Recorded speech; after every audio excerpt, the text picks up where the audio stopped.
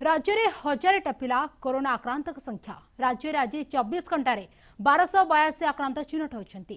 ତେବେ ଏମାନଙ୍କ ମଧ୍ୟରୁ କ୍ୱାରେଣ୍ଟାଇନ୍ରୁ ସାତଶହ ପଞ୍ଚାବନ ରହିଥିବା ବେଳେ ଲୋକାଲ କେସ୍ ରହିଛି ପାଞ୍ଚଶହ ସତେଇଶ। କରୋନା ସଂକ୍ରମଣ ସଂଖ୍ୟା ବଢ଼ୁଥିବା ବେଳେ ରାଜ୍ୟରେ ମଧ୍ୟ କରୋନା ସଂକ୍ରମଣ ସଂଖ୍ୟା କ୍ରମାଗତ ଭାବରେ ବଢ଼ିବାରେ ଲାଗିଛି। ଏକ ପ୍ରକାର ଯଦି ଦେଖିବା କରୋନା ଗ୍ରାଫ୍ ଦିନକୁ ଦିନ ଉପର ମୁହାଁଇବାରେ ଲାଗିଛି।